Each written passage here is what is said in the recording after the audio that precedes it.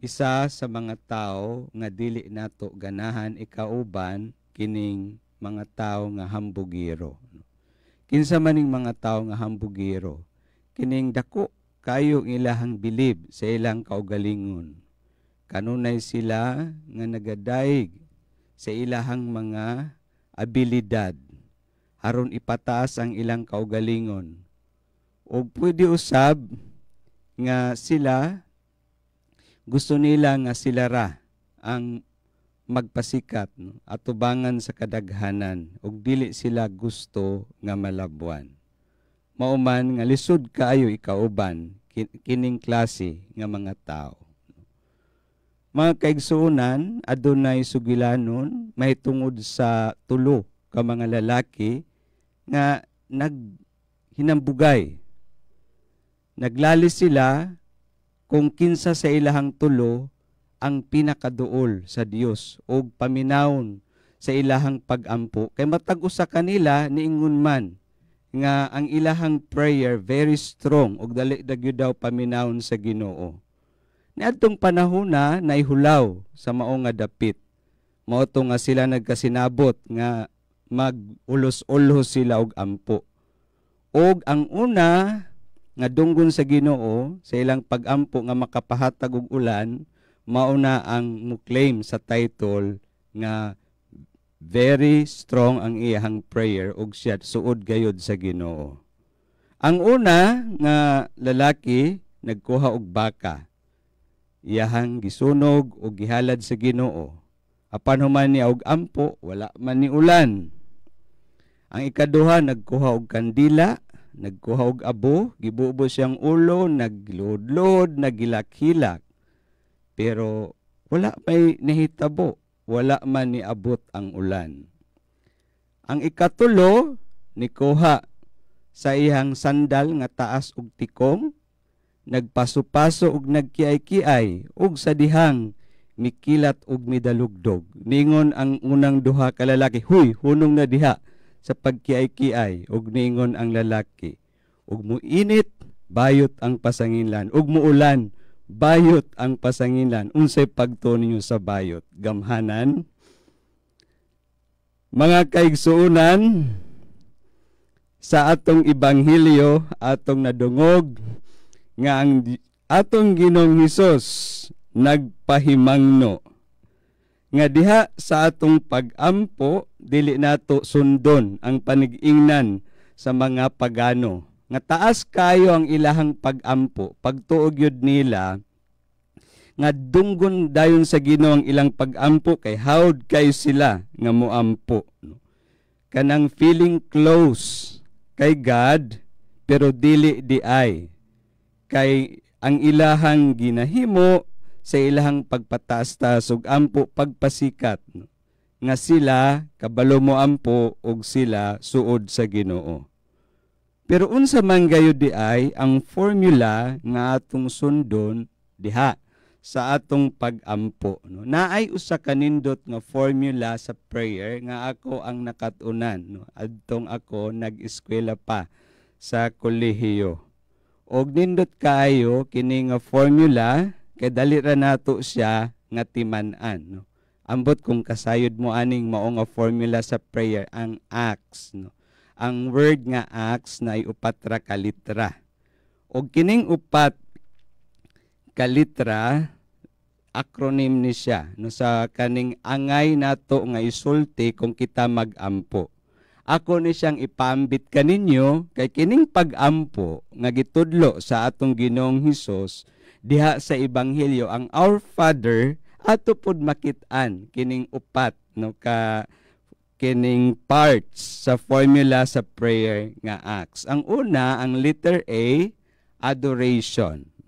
Kining pagdaig sa Ginoo. Nakabantay mo nga sa unang bahin sa prayer nga amahan namo niingon nga amahan namo ana sa langit unta ang ngalan mo maghari ka unta ka na kanamo. So atong gisangpit ang Ginoo ug ato siyang gidayeg adoration. Ikaduha nga parte ang letter C ang contrition. Ang pagpangayo og pasaylo. Pasaylo kami sa among mga sala, ingon nga gipasaylo namo ang nakasala kanamo. Importante man kini kay ang babag sa pagdawat sa grasya sa Dios kini mang atong mga sala nga nahimo sa kinabuhi. Ikatulo, ang letter T, ang thanksgiving, no, pagpasalamat sa kaayo sa Ginoo. So giunsa man pagpasalamat dianhi sa Our Father ang Ginoo kining tumano ng imong pagbuot dinhi sa yuta ingon man nga gituman kini didto sa langit. So kung kita mapasalamaton sa kabubuton sa Dios, kita magmatinumanon sa iya usab nga kabubuton. Og ang katapusan kining atong paborito kaayo ang gitawag nga supplication, no? pagpangayo. Ihatag kanamo ang kalanon nga among gikinahanglan karong adlaw luwasa kami sa tanang dautan no so kana siya mga kaigsuonan nindot kung ato ni siya nga makatunan kay uban ra ba kung pa ikaw maglid og prayer magtinukluday dayon no kay dili day kabalo kung unsa ang isulti sa panahon sa prayer no kusog ta manaway sa uban mo mga tawa kung nay uban nga magampo nga dili kabalo pero basin di ay kita pud misop mo di day kabalo kung kita na'y paampuon. So nindot kung kining formula sa acts atong makatunan. Usbonako, letter A, adoration, letter C, contrition, letter T, thanksgiving, o letter S, supplication. Pero bisan pa mga kaigsuunan, na master na nato ning formula kining acts dili but pasabot dunggundan sa Ginoo ang atong pagampo. Unsa man gyud ay ang mahinungdanon diha sa pagampo. Kining ato ang disposisyon. Mo bitaw nga kining pagkahambugiro mang panghitason dili pwede nga mao kini ang disposisyon nato sa dihang kita magampo kay basically ang pagampo mao man ang pagpaubos sa atong kaugalingon at tubangan sa Dios muhangyo gud ta sa iyaha muangkon kita nga aduna kitay mga kakulangon, aduna kitay mga limitasyon. Mauman kita nagakinahanglan sa iyahang grasya o panabang. Importante kaayo diha sa pagampo ang pagtukod nato og maayo nga relasyon. Una, ngadto sa Dios. Kay dili man ta mo ampo ngadto kaniya kung wala kitay matuod nga relasyon ngadto kaniya. Pero ang atong relasyon ngadto sa Dios adunay babag kung kita adunay ikabingkil nga mga tao. Mauman nga importante nga kita usa makiguli ug maayong buot relasyon ngadto sa atong kabingkil usa kita nga muduol ngadto sa Dios kay kitang tanan iya manggiila nga iyang mga anak ug buot niya nga kitang tanan adunay maayong relasyon sa matag usa.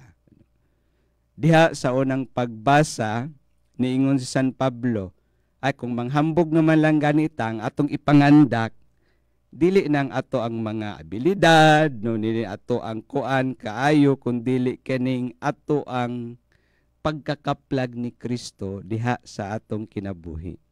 Kanang kamatuuran nga ato ang naamguhan tungod kay si Kristo anaa naman sa atong kinabuhi nga ang iyahang kamatuuran nagbag-o kanato nga mura gipakasal. Ngadto kaniya nitahan ta sa ato ang kinabuhi.